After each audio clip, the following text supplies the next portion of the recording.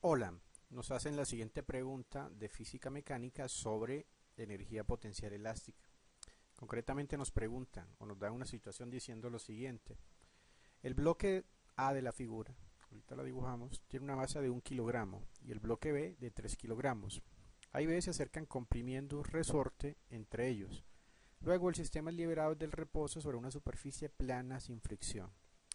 El resorte de masa despreciable está suelto y cae a la superficie después de extenderse. B adquiere una rapidez de 0.8 metros por segundo. ¿Qué rapidez final adquiere A? Bueno, es la primera pregunta. También nos preguntan eh, cuál es la energía potencial elástica de estos dos. Entonces vamos a suponer lo siguiente. Lo primero es que tenemos dos bloques desiguales que se van a comprimir con determinado resorte. La primera situación. Y la segunda situación es que eh, después eh, se van a comprimir. Y la tercera situación es que nuevamente nuevamente se van a se van a separar en la, en la dirección contraria entonces tenemos esto al principio se comprimen eh, esta es la masa de B, bloque B, el bloque A. Aquí se comprime. Lo importante o lo necesario es que tenemos que saber cuánto es la constante del resorte y, cuánto se comprime.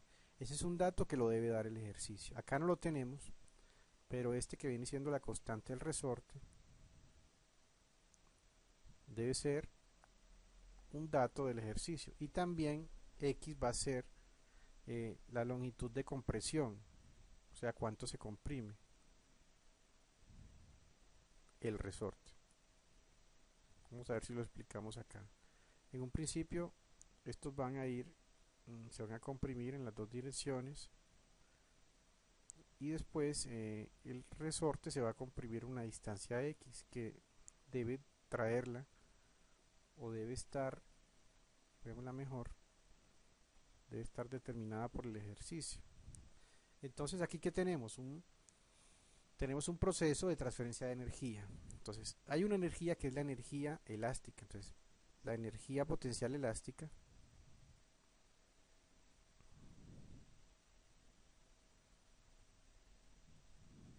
o energía elástica, vamos a simbolizarla como E, e sub R, va a ser igual a un medio de la constante de resorte por la longitud de compresión al cuadrado en metros. Esta constante debe tener unidades de Newton, Newton sobre metro. Bueno, la cuestión es que esta energía potencial elástica se va a convertir en energía cinética que va a hacer que se mueva con una rapidez, con una velocidad A en esta dirección y con esta dirección el bloque con una velocidad B. Entonces, ese va a ser nuestro balance de energía.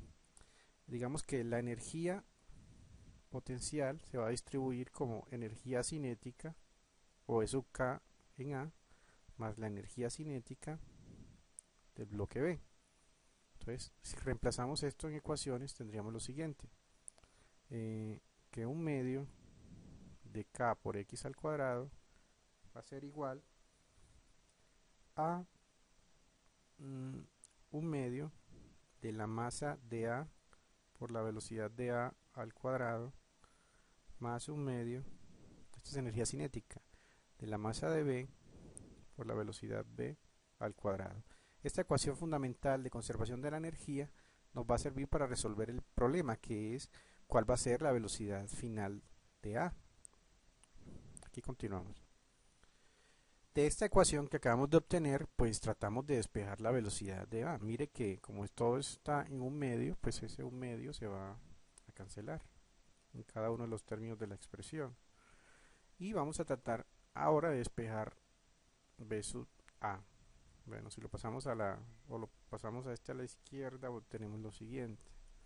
En la masa de a por la velocidad de a al cuadrado va a ser igual a kx2 menos la masa de b por la velocidad b al cuadrado.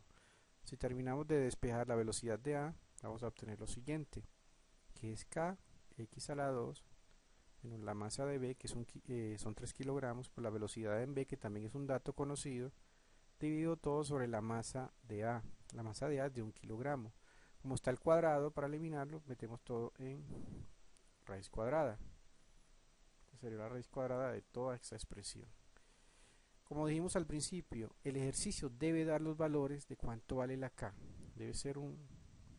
y cuánto se comprime el resorte. Una vez tengamos esto, podemos con esta ecuación calcular cuál va a ser la rapidez del bloque A.